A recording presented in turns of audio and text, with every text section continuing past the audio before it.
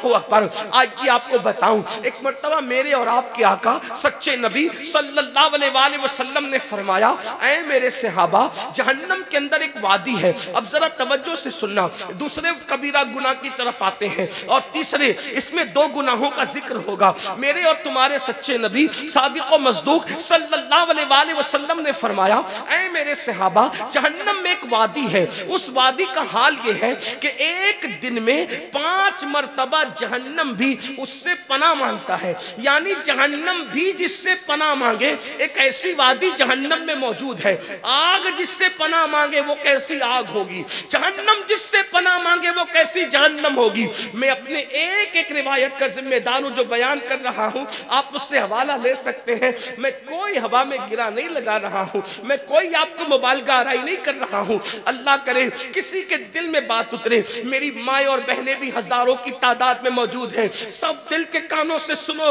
अल्लाह अकबर, हज़रत अल्लाह अल्लाह, मुस्तफ़ा करीम रहीम, गैब दा नबी सल्लल्लाहु अलैहि वसल्लम फरमाते हैं, जहन्नम में एक वादी है, जिससे जहन्नम भी एक दिन में पाँच मरतबा अल्लाह की पना माँगता है। अल्लाह अकबर, फिर मेरे आका फरमाते हैं, उस जहन्नम की वादी की हरारत और गर्मी ये है, तपिश ये है कि उसके अंदर अगर पहाड़ भी डाल दिए जाएँ तो पहाड़ भी पिघल पिघल जाएँ। यानी जहन्नम उससे पाँच बार पना मांगे, ऐसी वादी है। और उसमें अगर पहाड़ डाले जाएँ तो पहाड़ भी पिघल पिघल जाएँ। सहाबे किराम ने अर्ज़ की, या रसूल अल्लाह हमारे माँ बाप आप पे कुर्बान आका, जिसमें पहाड़ भी पिघल जाएँगे। और जिससे एक दिन में पाँच मरतबा जहन्नम पना माँगता है। हुजूर, उस वादी में किसको डाला जाएगा? उसमें किसको रखा जाएगा? वो किसका ठिकाना होगा? तो मेरे आका फरमाते, दो लोगों का ठिकाना होगा, जिससे पाँच बार जहन्नम पना मांगे और जिसमें पहाड़ भी पिघल जाए, उसमें दो लोग डाले जाएँगे। नंबर एक, हराम खाने वाला। हराम लुकमा खाने वाला।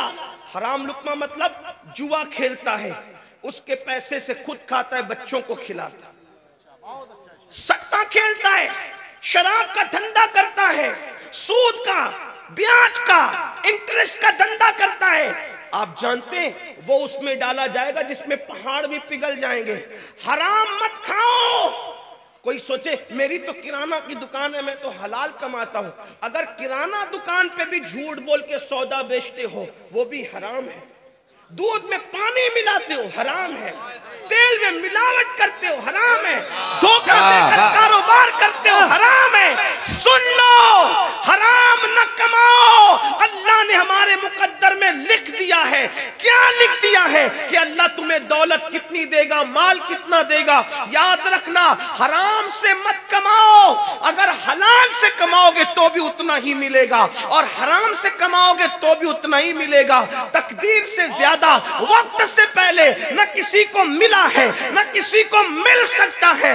हलाल कमाओ, हलाल। उसमें क्या है, देखो, हलाल में बरकत है। हलाल देर से आता है, हलाल कम आता है, लेकिन बरकत अल्लाह ने रखी है और हराम ज़्यादा ज़्यादा आता है, जल्दी जल्दी आता है, लेकिन उसमें बरकत नहीं होती। एक आसान मिसाल से आपको समझाऊं। देखो और गौर करो, अल्लाह अकबर, के कुत्ते कितने बच्चे पैदा करता है? कुत्ते के कितने बच्चे होते हैं? एक साल में बारह बारह, चौदह चौदह बच्चे होते हैं। लेकिन क्या आपने हर घर के दरवाजे पे कुत्ते को देखा है? हालाँकि दुनिया के कोई मज़हब का आदमी कुत्ता नहीं खाता। दुनिया के कोई मसलक का आदमी कुत्ता नहीं खाता। लेकिन कुत्ते बारह पैदा हो, साल में चौदह पैदा हो, हर दरवाजे पे नज़र नहीं आते। और कुत्तों का रेवड़ कभी नज़र नहीं आता। कुत्ता तनहा तनहा चलता है। या दो चार छह जमा हो जाए तो अलग बात है। मगर कुर्बान जाए। बकरी दो पैदा होती है साल में या तीन पैदा होती है और हज़ारों जबा होती है। बंगाल वाले भी जबा कर रहे हैं, ईरान वाले भी जबा कर रहे हैं, यमन वाले भी जबा कर रहे हैं। पूरी दुनिया में जबा हो रही है, लेकिन हर दरवाजे पर भी नज़र आ रही है और जंगल में रेवड़ भी नज़र आ रहा है। आती हुई कम नज़र आती है, लेकिन इतनी ज़्यादा है क्यों? तो तुम्हारा ईमान गवाही देगा। किया है। बकरी को हलाल किया है अल्लाह ने उसमें बरकत अदा नारे तकबीर नारे रिसालत मज़हब इस्लाम कानून मुस्तफ़ा फैजान बुखारी अल्लामा अमीनुल कादरी मसल के आला हज़रत।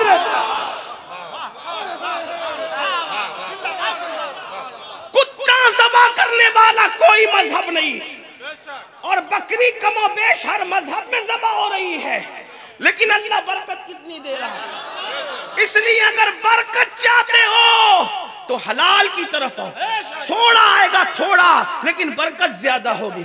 एक और बात दस करूँ, अल्लाह जिससे नाराज़, उसमें बरकत नहीं। और अल्लाह जिससे राज़ी, उसमें बरकत। तवज्जो है आपकी?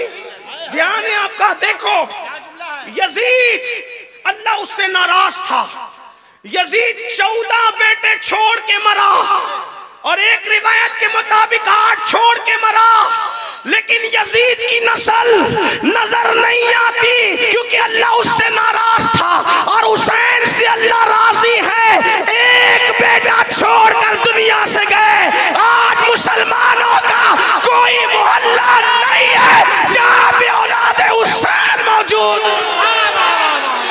नारे तकबीर नारे रिसालत मसलक आला हज़रत फैजान आला हज़रत इश्क मोहब्बत इश्क मोहब्बत सैयद अमीनुल कादरी सैयद अमीनुल कादरी फैजान इमाम हुसैन फैजान इमाम हुसैन नारे तकबीर नारे रिसालत वाह वाह वाह वाह वाह वाह वाह वाह वाह। वाह वाह वाह वाह वाह मुसलमानों का मुसलमानों का कोई मोहल्ला ऐसा नहीं जहाँ औलाद हुसैन मौजूद न हो। अरे बंगाल के इस्तेहात में भी ये सादात बुखारी औलाद हुसैन है। इराक जाओ इराक जाओ तो शेख रिफाई औलाद हुसैन बगदाद जाओ तो शेख अब्दुल कादिर जिलानी औलाद हुसैन क्योंकि वो हसनी भी है, वो हुसैनी भी है। गरीब नवाज़ औलाद हुसैन है, बख्तियार काकी औलाद हुसैन है, महबूब लाई निजामुद्दीन औलिया औलाद हुसैन है खाजा उस्मान हारूनी औलाद हुसैन है। क्या पता चला जिससे अल्लाह राज़ी रहता है, उसमें बरकत देते हलाल कमाओ, तुम्हारी नस्लें बैठ के खाएगी। जब अल्लाह बरकत दे तो कोई खत्म नहीं। कर सकता आप कहते हैं, नहीं, मेरी रोजी पे किसी ने जादू कर दिया। किसी ने जादू किया हो या ना किया हो, हमारे करतूत का जादू इतना खतरनाक है। हमारे गुनाहों का जादू इतना खतरनाक है, कुरान कहता है, वमा असाबकुम मिन मुसीबतिन फबिमा कसबत अयदीकुम कि तुम पर जो भी मुसीबत आती है, वो तुम्हारे गुनाहों की वजह से आती है। कहा? मौलाना साहब, सैयद साहब, पीर साहब, तीस साल हो गए बेटी को रिश्ता नहीं आता। मैंने कहा, पाप करना छोड़ दे।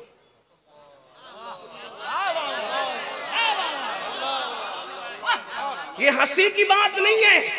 और काम की बेटियों से कहता हूँ, अगर घर में बैठी बगैर रिश्ते की लड़कों की कमी नहीं है गुना करना छोड़ मेरी बहन। तुझे ऐसे घर का रिश्ता आएगा नेकी की बरकत से। तेरा गुमान भी नहीं जाएगा। अब आपको लगेगा कि ये मौलवी लोग को बुलाया तकरीर के लिए कुछ भी बोल के जा रहे हैं। दलील पेश करूँ आपको। देखो, अगर नेकी करोगे तो इतने ऊँचे घराने का रिश्ता आएगा तकवे की वजह से। लेकिन तकवा अल्लाह के लिए होना चाहिए। किसी को दिखाने के लिए नहीं। पता चला ऊपर से तकवा अंदर तो खाली है। हजूर अलैहिस्सलाम फरमाते अब तकवा हाँ होना, तकवा यहाँ है। गर्दन में नहीं है जो गर्दन झुका के बैठते हो गर्दन न झुकाओ, दिल झुकाओ। टोपियाँ खूबसूरत ना पहनो, दिल को खूबसूरत बनाओ। दाढ़ी की तराश खराश पे तवज्जो देने वालों दिल पे तवज्जो दो। क्योंकि अल्लाह के रसूल फरमाते मुत्तफक अलैह हदीस है इन अल्लाह ला यंजुरो इला सुवारिकुम व इला वालिकुम वलाकिन यंजुरो इला कुलूबिकुम। अल्लाह ना तुम्हारे चेहरे देखता है ना माल देखता है। अल्लाह तो तुम्हारे दिल देखता है दिल।